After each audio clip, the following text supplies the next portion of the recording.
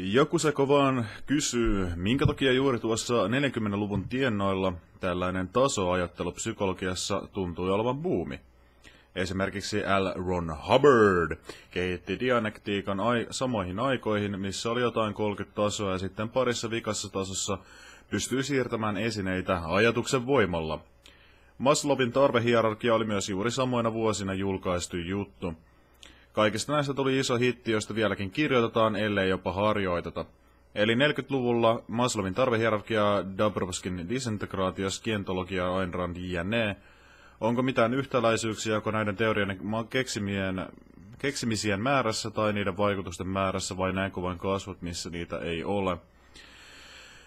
Äh, mä en oikein tiedä, että voiko sitä sanoa joku 40-luvun piikiksi. Äh, en ole varma, ei ole mitään semmoista listausta siitä, että näin monta ja näin monta oli silloin keksitty erilaisia tasojuttuja, mutta mun mielestä tämmöiset tasojutut on tosi yleisiä. Ja varsinkin psykologiassa, ähm, psykologiassa on äh, niin kuin hyvin paljon muitakin äh, erilaisia ikään kuin tasoja, lasten kehityksen tasot ja äh, tietynlaisia, mitä tahansa kehityksen tasoa käytännössä. Ja äh, mä veikkaan, että se syy on aika yksinkertainen, miksi näin, näin, näin selityksiä tehdään, niin aika lailla se, että se on kaikista helpoin ja yksinkertaisin ymmärtää. Että et sun on tosi selkeä, että vaan katsoa, että hei, tässä on tämä, tämä ja tämä ja tämä ja tämä.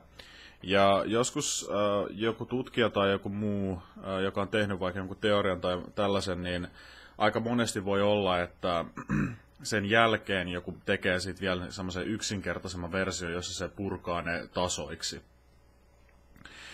Ja siinä on tietenkin myös ehkä sitä, että ihmiset tykkää nähdä että aina, että on kehitys, joka on selkeästi tyyli melkein level 1, level 2, level 3 tyyppisesti.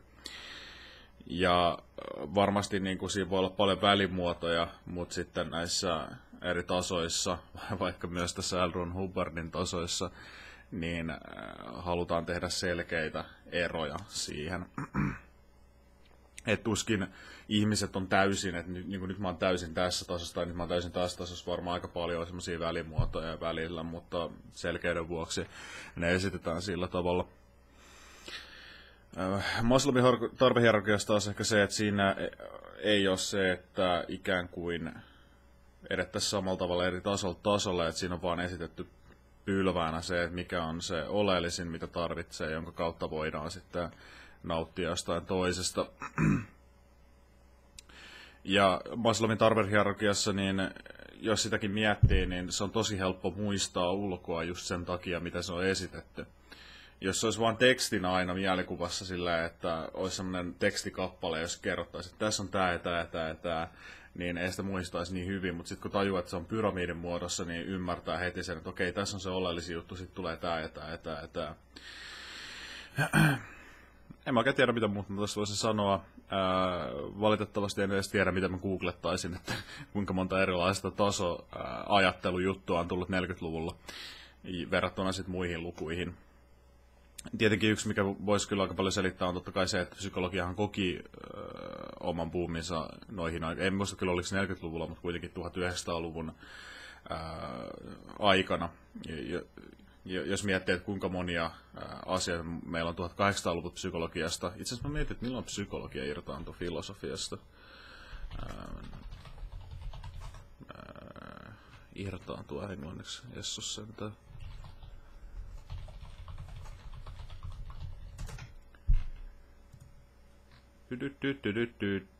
Kyltäkin voisi sitä googlettaa. No mikä näistä sanoista tuli järkevällä? Niin kuin secede, ehkä. Be detached. Äh.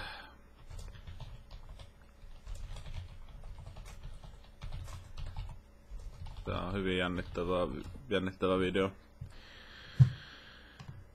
Separate, okei. Okay. Ja oli se mielessä. Oh, tää on tässä ne taas, että kukaan vittu ei saa yksinkertaisesti sanoa vaan, että joo, se oli tällöin. No, mä heitän omasta päästäni 1800-luvulla. Tämmönen muistikuva mulla on. Täällä ei näköjään mitään selkeät vastausta asiaa. Mutta joka tapauksessa, niin äh, kun se vasta pääsi silloin irtaantumaan, niin tietenkin menee joku tietty aika, että pääsee ihmiset makustelemaan psykologia tieteen alana, ja se, sen takia on ollut varmasti iso piikki siinä aikana. Näin voisi myös päätellä. Mutta sitten mä en tiedä miksi juuri tasoja, mutta se taas ehkä selittää, että mun mielestä melkein kaikki asiat pyritään selittää sillä tavalla, koska se on kyllä yksinkertaisin tapa selittää asioita, jos on mitään siis missä asiat kehittyy tiettyyn suuntaan.